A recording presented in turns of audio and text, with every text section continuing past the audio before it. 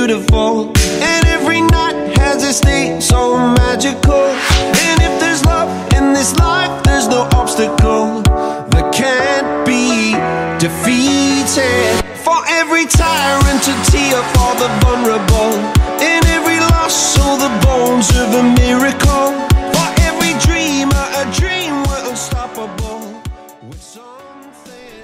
Bah c'était super bien, donc euh, enfin on a eu un groupe super. euh, on a visité bah, un peu tout dans la ville. Ben, pour pratiquer euh, pour pratiquer l'activité euh, wakeboard et, kayak et catamaran.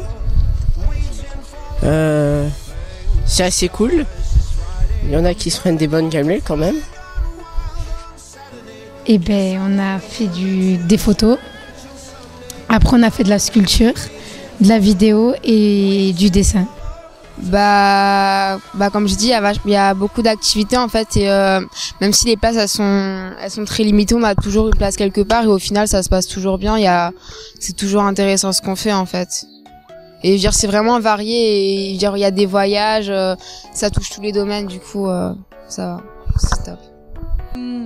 Ah, on fait des trucs, euh, on fait des trucs bien, on se balade, on fait, on se fait plein de nouveaux potes, enfin, c'est frais quoi. Parce que ça permet aussi de pratiquer euh, des sports qu'on n'a pas forcément l'occasion de faire parce que c'est des sports chers généralement. Alors que là c'est bon, très accessible. Et voilà, se retrouver euh, comme ça en collectivité avec euh, d'autres personnes, un peu loin de la famille, c'est bien aussi.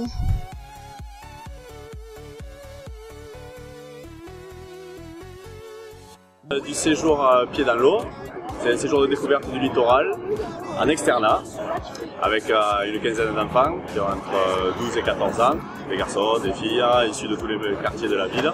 Et donc euh, voilà, on fait des rencontres, on se fait des amis, ils gardent du lien entre eux, ils s'échangent les numéros de téléphone, les Facebook, etc. Et on se retrouve après euh, ben, avec des nouveaux amis. Donc là, on est sur un séjour Ziva qui est basé sur l'artistique, sur la création. Donc on est en relation avec le musée d'art contemporain, euh, donc sur l'exposition euh, l'autoportrait de Narcisse. Enfin, Narcisse et le pouvoir de l'autoportrait exactement.